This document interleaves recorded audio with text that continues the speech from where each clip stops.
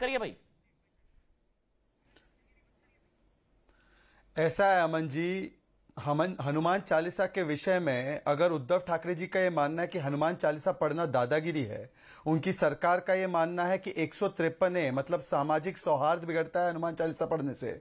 उनकी सरकार का मानना है सेडिशन मतलब देश के विरोध में हनुमान चालीसा पढ़ना सार्वजनिक जगह पर। तो मैं उनसे पूछना चाहता हूँ कि अफजल, हम शर्मिंदा है, तेरे कातिल ज़िंदा है कहने वाले लोगों को जो पार्टी मंच देती है, उनके साथ गठबंधन करना सही है? मैं उनसे पूछना चाहता हूँ, हिंदुत्व को जो आईसिस कहते हैं बोको हराम कहते हैं, वो सही है? और मैं उनसे पूछना चाहता हूँ, नवाब मलिक, जिसके सुप्रीम कोर्ट तक संपर्क जो दाऊद इब्राहिम के साथ अब लगभग साबित ही हो चुके हैं प्रथम दृष्टिया, वो बिल्कुल सही है। उस पर सेडिशन नहीं लगना चाहिए। और सेडिशन इस पर भी नहीं लगना चाहिए कि किस प्रकार से मतीन शेख, मतीन शेखानी ने खुले मंच से महाराष्ट्र के कानून व्यवस्था को चुनौती दी थी। कहा था, छेड़ेंगे तो छोड़ेंगे नहीं। तो इस पीएफआई के कार्यकर्ता पर सेडिशन महाराष्ट्र की सरकार ने नहीं लगाया। परंतु मैं बताता हूँ, आपको ये संगत का असर है। जो कांग्रेस पार्टी श्री राम को नहीं मानती, आज अगर हनुमान चालीसा बोली जाती है तो राम भक्तों को तो कोई परेशानी नहीं होगी। भू, जो भूत पिशाच है जो रावण है उन्हीं को परेशानी होती है। जो हनुमान चालीसा के लिए आज इस प्रकार से डरते हैं वो उन्हीं के संगति है जो राम जी के अस्तित्व को नकारते थे जो राम सेतु को तोड़ने की साजिश रचित थे जो हिंदू को टेररिज्म से जोड़ने वाले लोग हैं। तो इस संगत में आज शिवसेना का ये स्तर हो चुका है। पर मैं उनसे एक सवाल पूछना चाहता हूँ। आज अगर फहमिदा जी भी जुड़ रही है तो मैं उनसे पूछना चाहता हूँ फहमिदा जी पहले तो आप नमाज़ का जो पूरा हाँ नहीं वो नमाज़ पढ़ना चाहती है प्रधानमंत्री का घर के बाहर निवास के बाहर। पहले मस्जिदों में मुस्लिम महिलाओं को तो नमाज़ पढ़ने का अधिकार दिलवा दीजिए। पूना से एक दंपत्ति सुप्रीम कोर्ट गया है कि नमाज़ पढ़ने मिले महिलाओं को। तो मैं चाहता हूँ कि कम से कम महाराष्ट्र की जो मस्जिदें हैं जहाँ पर नमाज़ नहीं अता कर सकते अच्छा पहले वहाँ पर तो अता करने का पूरा अधिकार दिलवा दे।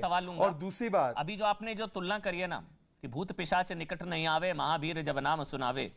आनंद जी, ये भूत पिशाच किसे कह रहे हैं ये? बुद्धि विद्या देह मोही हरे कलेश विकार। ये जो कलेश छाया है, किसी मायावी शक्ति द्वारा महाराष्ट्र के ऊपर मंडरा रहा है, उसको हनुमान जी ही भगाएँगे। मार मार कर भगाएँगे, पीट पीट कर भगाएँगे। क्योंकि हनुमान जी कहते हैं कि कभी किसी का बुरा मत करो, कभी किसी का अपमान मत करो। एक सांसद अमरावती की कहती है कि हेलो। आ रही है सर आप बोली बोली ऑडियो आ रहा है। आनंद भाई एक सांसद एक सांसद कहती हैं हाँ। अमरावती से कि महाराष्ट्र के मुख्यमंत्री जब से बने हैं तब से साढ़े सात ही लगी है। अरे ये भाषा है मुख्यमंत्री के लिए? साढ़े साथी जैसे शब्द का प्रयोग करना? उसके बाद जब आप पर कार्रवाई होती है तब चीख चीख कहती हैं अन्याय हो रहा है। मुंबई पुलिस ने अन्याय किया है। लेकिन जब मामला हाई कोर्ट में गया तो मैं धन्यवाद देता हूँ आदरणीय कोर्ट को। उन्होंने कहा नहीं मुंबई पुलिस ने जो कार्रवाई की है बिल्कुल उचित की है और सौ प्रतिशत सही की है। तो देखिए अमन भाई यह देश कानून से चलता है। हम्म। यह देश कोई भारतीय जनता पार्टी की नीति से नहीं चलेगा। हाँ ठीक है उनके पास पूर्ण बहुमत की सरकार है केंद्र में उनकी अच्छी खासी संख्या है। लेकिन ये जो विवाद महाराष्ट्र में वो आनंद भाई पता है सवाल क्या है? आनंद भाई ये ये बात ठीक है भाई जब हाईकोर्ट हाँ, ने भी हाँ, बोला हाँ, है और लीगल लीगल एस्पेक्ट्स है। कि पब्लिक प्लेस में किसी की प्राइवेट प्रॉपर्टी में जाके थोड़ी ना हनुमान चालीसा पढ़ेंगे। ठीक है। नहीं ठीक है लेकिन परसेप्शन में ये हो रहा है कि हनुमान चालीसा पढ़ने पर देशद्रोह हनुमान चालीसा पढ़ने पर जेल जय हनुमान पर जेल ये परसेप्शन हो रही है कि शिवसेना एंटी हिंदू ये परसेप्शन बन गई आप समझ रहे हैं आनंद भाई। अमन भाई अमन भाई कुछ मुट्ठी भर लोग पूरा हाँ, देश नहीं पूरा देश तो आज भी आदरणीय बाला साहब ठाकरे जी और उद्धव ठाकरे जी के साथ खड़ा है। ये कुछ मुट्ठी भर लोग हैं जो हमारे महाराष्ट्र में अराजकता फैलाना चाहते हैं सरकार को अस्थिर करना चाहते हैं। हनुमान चालीसा से कोई प्रॉब्लम नहीं है ना? हनुमान चालीसा से किसको हो? मैं तो अभी बोल रहा हूँ कि जय हनुमान ज्ञान गुण सागर जय कपीस उन लोग को जाकर रामदूत अतुल बलधामा अरे भाई हनुमान चालीसा तो बचपन से हम सब पढ़ते ही आए तो बीच में नहीं छोड़ते हैं जब शुरू करते हैं तो पूरा करते हैं। ये भी हिंदू धर्म में सिखाया जाता है नहीं ठीक है। नहीं बट आपके चैनल पे उतना समय नहीं होगा इसलिए शुरू मत करिए वो अपमान नहीं। शुरू करें तो अंत करें। तो मैं उनको प्रणाम कर रहा हूँ। नहीं तो मैं उनको प्रणाम कर रहा हूँ। नहीं तो मैं हनुमान जी को प्रणाम कर रहा हूँ। चलिए ठीक है। मतलब हनुमान चालीसा से प्रॉब्लम नहीं है ना कोई? अरे बिल्कुल नहीं है बजरंगी से तो कोई नहीं है। बिल्कुल कोई गठबंधन का कोई दबाव वगैरह ऐसा कुछ?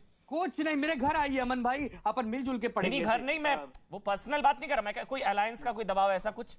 अरे कमाल करते हैं आप कांग्रेस पढ़ती है राष्ट्रवादी पढ़ती है मैंने तो नाम नहीं लिया था सभी लोग पढ़ते हैं।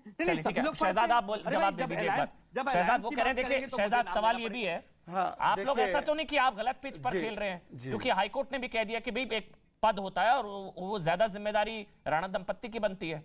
यह हाईकोर्ट ने भी कहा है। शहजाद। हाईकोर्ट ने तो ये भी कहा कि सार्वजनिक जगह हाँ हाईकोर्ट ने ये भी कहा कि सार्वजनिक जगह पर इस प्रकार से धार्मिक चीज़ें करना ये सही नहीं है। तो ये जो सार्वजनिक रास्तों पर नमाज़ पढ़ने की जो प्रक्रिया है, उसको भी बंद होना चाहिए उसी लिहाज से, अगर इसी हाईकोर्ट के हवाले का फैसला दे रहे हैं। और हाईकोर्ट और सुप्रीम कोर्ट ने नवाब मलिक के दाऊद के साथ रिश्तों के बारे में भी बहुत कुछ कहा है। उस पर सेडिशन तो दूर इस्तीफा नहीं ले पा रहे और साढ़े बोलना अगर इतना बड़ा गुना है तो भाई मुझे बताइए, चप्पल से उत्तर प्रदेश के मुख्यमंत्री को मारना इस पर केस होना चाहिए कि नहीं होना चाहिए जो उद्धव जी ने कहा था। जो एक व्यक्ति ने एक गाली इस प्रकार से दी थी कंगना रनौत को उस पर होना चाहिए नहीं होना चाहिए। बीस फीट गार्ड देंगे बीस फीट में गार्ड देंगे ये सही कहा था या ये गलत कहा था इसका परिपेक्ष होता है बीस फीट में गार्ड देना धमकी देना मार देने की। ये कहना कि देखिए अगर नहीं नहीं एक सेकेंड विजय वड़त्तीवार विजय वड़त्तीवार जो कांग्रेस के मंत्री है वो माँ बहन की गाली एक दलित सांसद को देते हैं इसका भी कोई परिपेक्ष होता है। और मैं आपको बोलना चाहता हूँ देखिए इन्होंने बाला साहेब ठाकरे की बात की। एक ही अमन जी मुझे तीस बीस सेकंड दे दीजिए। हाँ। बाला साहेब ठाकरे जी की एक बात सुनाना चाहता हूँ। प्लीज़ कान खोल कर सुनिए।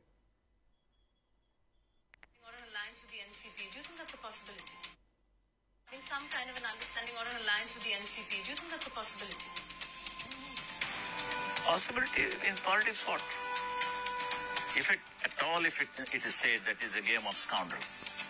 It's for a man to decide whether he, to be, he wants to remain a gentleman or a scoundrel. How can I stop? If anybody is trying to become a scoundrel, okay. But I will not go along with a scoundrel, whoever he may be.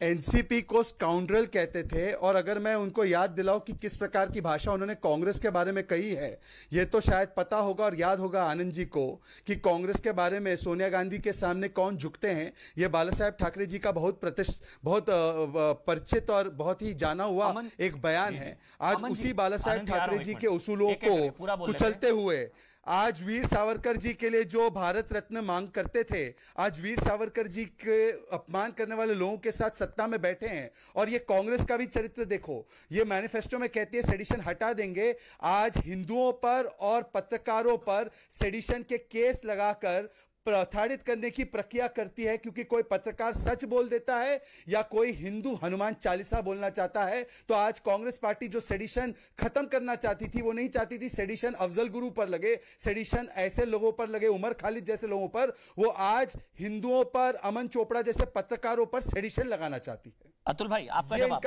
Atul Patil Congress party के प्रवक्ता है। Sir एक एक comment सबका ले लूँ? आनंद जी फिर क्योंकि प्रकाश जी भी है मेरे साथ एमएनएस से भी हैं। लेकिन पहले अतुल जी आपका कमेंट विजय शंकर